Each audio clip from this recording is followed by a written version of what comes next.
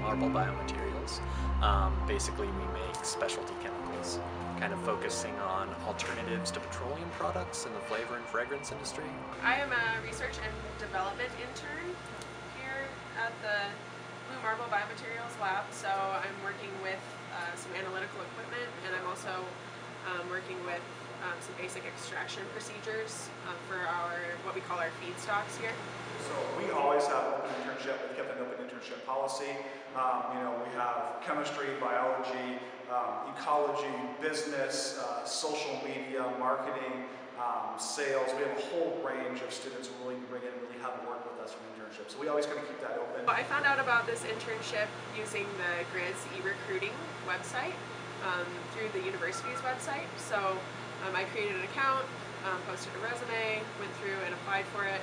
Um, fortunately, my interview went well. I was accepted. We kind of have this open policy to make sure that people can come in and get experience with it because you know it really works both ways.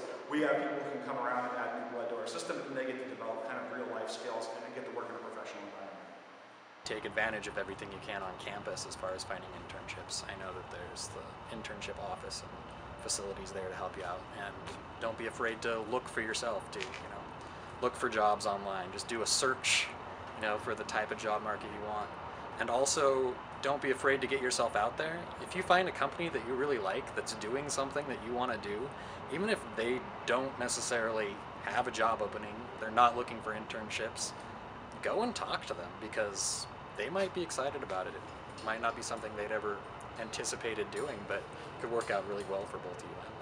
I really liked the fact that Blue Marble is a sustainable company um, and they are also a zero waste company, so they uh, work with uh, what most folks would consider to be uh, products that are ready for the landfill um, and extract valuable compounds from them and make a business out of that um, in order to, you know, help gear us towards a post-oil economy.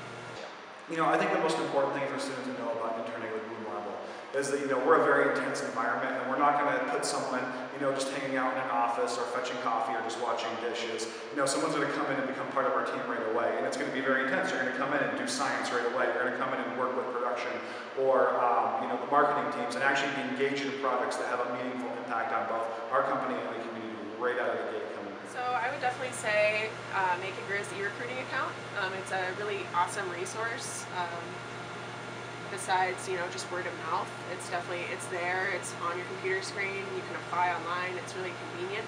Um, so make your profile, um, make sure your resume looks good and, you know, that it's succinct and that it's something that um, employers actually want to read through um, and apply, you know, go through with it, go through, you know, you know, take five, ten minutes out of every week and see what the listings are and you know, if it's something that you might be interested in, apply. Even if you don't think you have the right skills, apply anyway because a lot of times these people are willing to help you gain the skills you need to succeed at your job. So don't be intimidated, just go for it. um, it's been a very smelly experience, but um, good smells always bring good memories. So.